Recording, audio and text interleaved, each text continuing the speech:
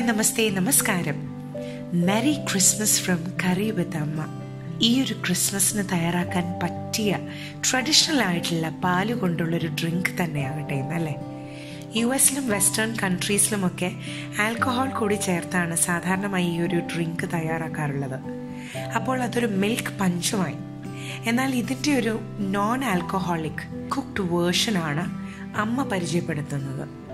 പാലും മധുരവും മുട്ടയും ക്രീമും കുറച്ച് സ്പൈസസും എല്ലാം ചേർത്തിട്ടുള്ള ഒരു വേർജിൻ ചിൽഡ് മിൽക്ക് ഡ്രിങ്ക് ഈ ഒരു ചിൽഡ് മിൽക്ക് ബിവറേജ് എക്സ്ട്രീംലി ടേസ്റ്റിയാണ് വളരെ ഡിഫറെന്റ് ആയിട്ടുള്ള ഒരു dessert as a drink in the mouth എന്ന് പറയുന്നത് പോലത്തെ ഒരു ഡ്രിങ്ക് ആണ്.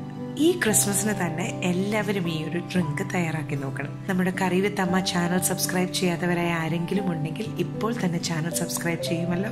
അപ്പോൾ നമുക്ക് കാണാം ക്രിസ്മസ് സ്പെഷ്യൽ അമ്മയുടെ special traditional egg nog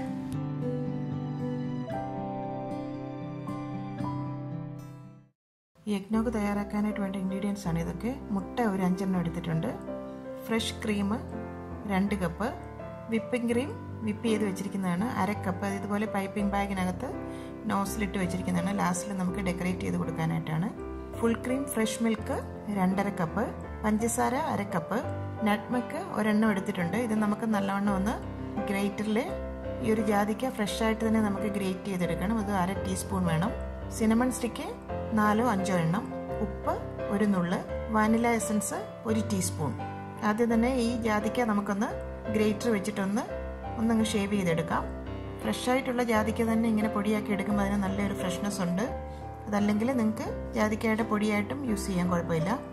ഒരു ബൗൾ എടുത്ത് വെച്ച് അതിലേക്ക് മുട്ട ഓരോന്നോരോന്നായി ചേർത്ത് ഒന്നങ്ങ് ഹാൻഡ് മിസ് കൊണ്ട് ബീറ്റ് ചെയ്തെടുക്കണം. പഞ്ചസാര കുറേശ്ശെ കുറേശ്ശെ അതിലേക്ക് ചേർത്ത് വീണ്ടും ബീറ്റ് ചെയ്യുക.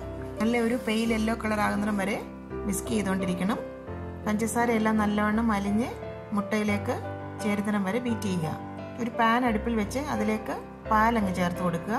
ഈ പാൽ നമുക്കൊന്ന് സിമ്മർ ചെയ്തെടുക്കുകയാണ് വേണ്ടത്. തിളയ്ക്കാനായിട്ട് അനുവദിക്കരുത്. സിമ്മിൽ തന്നെ വെച്ച് ഏകദേശം ഒരു സെവന്റി ഡിഗ്രി ആകുന്നിടം വരെ നമുക്കൊന്ന് ചൂടാക്കിയെടുക്കണം. നിങ്ങളുടെ കയ്യിൽ മിൽക്ക് തെർമോമീറ്റർ ഉണ്ടെങ്കിൽ അത് യൂസ് ചെയ്യാൻ കുഴപ്പമില്ല.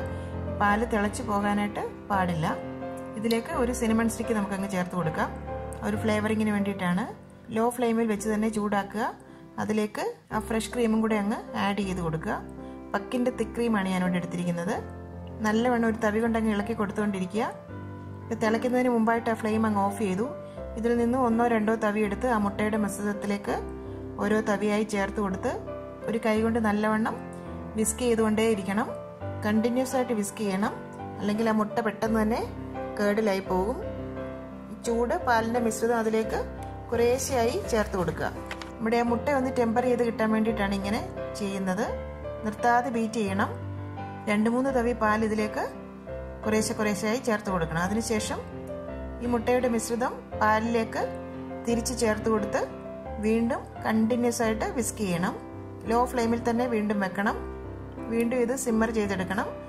ഒരു കാര്യം ശ്രദ്ധിക്കേണ്ടത് ഇത് ഈ ഒരു മിശ്രിതം ഇനി തിളയ്ക്കാനായിട്ട് അനുവദിക്കരുത്. വിസ്ക് ചെയ്തുകൊണ്ടേ ഇരിക്കണം. ഏകദേശം ഒരു സെവന്റി ഡിഗ്രി സെന്റിഗ്രേഡ് ആകുമ്പോൾ നമുക്ക് ഫ്ലെയിം ഓഫ് ചെയ്യണം. മിൽക്ക് തെർമോമീറ്റർ ഉണ്ടെങ്കിൽ യൂസ് ചെയ്യാം.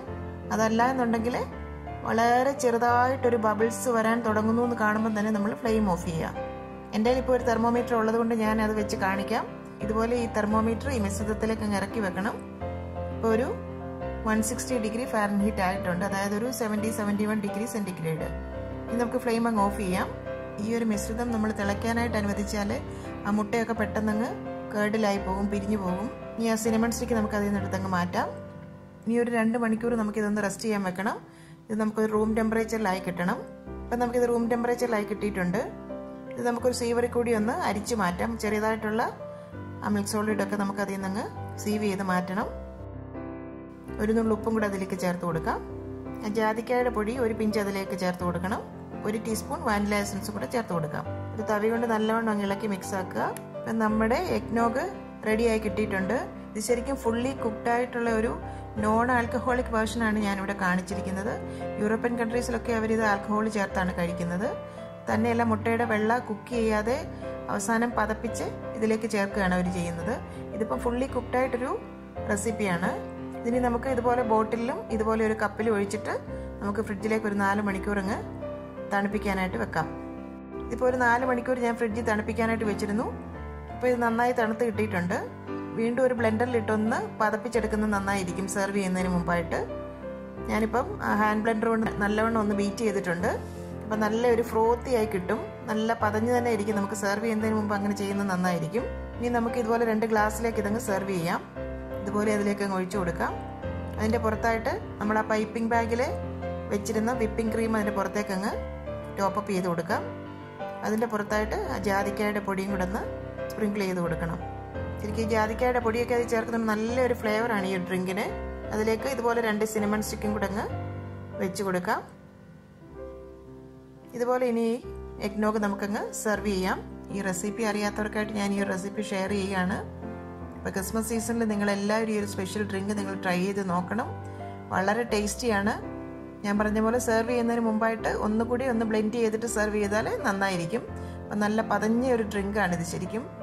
സിനമന്റെ ഒരു ഫ്ലേവറും ആ ജാതിക്കാപ്പൊടിയുടെ ഒരു ഫ്ലേവറും എല്ലാം കൂടെ വരുമ്പം ശരിക്കും നല്ലൊരു ഡ്രിങ്ക് തന്നെയാണ്. അപ്പം നിങ്ങൾ ക്രിസ്മസിന് എല്ലാവരും ഇത് ട്രൈ ചെയ്ത് നോക്കണം.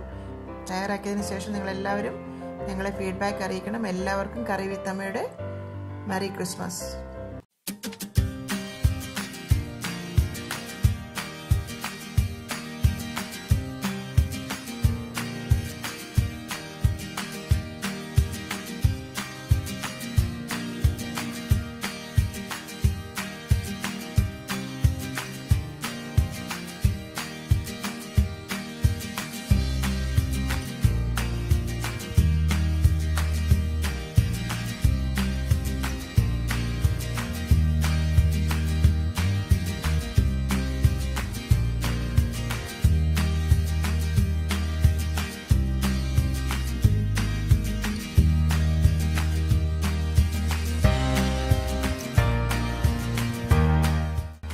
ഇന്നത്തെ റെസിപ്പി നിങ്ങൾക്ക് ഇഷ്ടമായെങ്കിൽ ഈ വീഡിയോ നിങ്ങൾ തീർച്ചയായും ലൈക്ക് ചെയ്ത് ഷെയർ ചെയ്യണം.